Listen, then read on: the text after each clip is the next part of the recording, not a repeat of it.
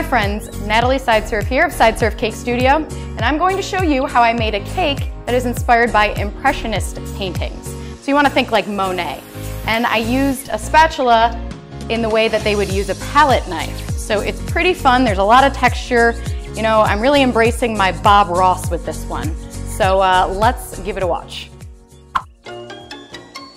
All right, I am going to start with a six inch round layer of vanilla cake and I am icing it with American buttercream.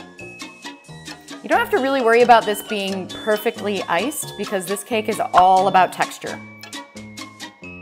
Now for the background, I mixed pink and purple, and I wanted a kind of neutral color so that the flowers will really pop. You can make this more textured if you'd like, or you can smooth it out.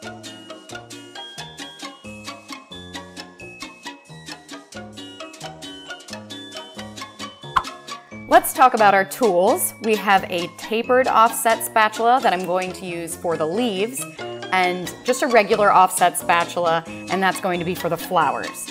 Um, you can see with the spatulas, they're not super flexible.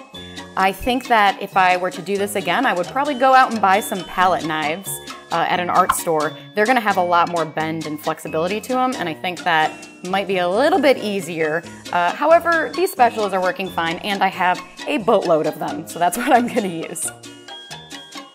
We're making tulips, and tulips have very long vertical leaves. So I'm just gathering some buttercream on the edge of my spatula. This is the tapered one. And I'm going to swipe down at a vertical angle using two colors. I have green and I have yellow. And when you pick your colors, whether you're making, you wanna make some crazy leaves that maybe have, you know, some blue or really you can do anything, you wanna make sure that your two colors that you choose are next to each other on the color wheel. And that's because if you use colors that are opposite on the color wheel, when they mix together, they're going to make a kind of brownish gray color.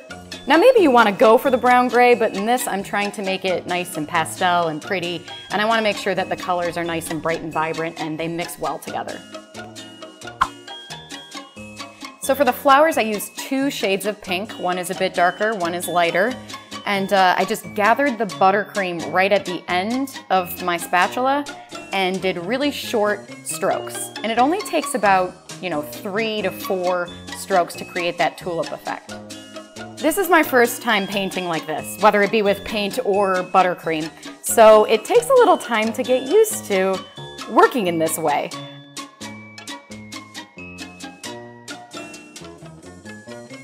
We don't make mistakes. We have happy accidents. But uh, I noticed that if you tilt the palette knife or the spatula just slightly to the left or the right, it creates a different texture and a different swipe and you're getting, you know, more variety in the leaves. So that's something that I think I would do more next time. This kind of cake is somewhat forgiving. You can go back in and kind of mess with it a bit. I noticed that my favorite parts were when I just quickly made a swipe of the buttercream and I left it. So I, I think if you overdo it, it starts to lose, you know, the interesting texture that's created with just one swipe.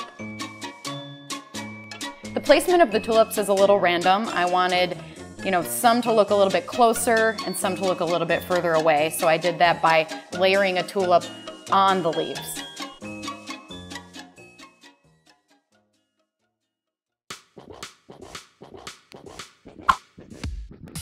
Had a lot of fun making these flowers in the palette knife style painting and I can't wait to do more. I'm imagining entire full bouquets of different varieties of flowers and different colors and I'm definitely gonna revisit. And you guys should definitely give this a try because it's fun and it's somewhat forgiving.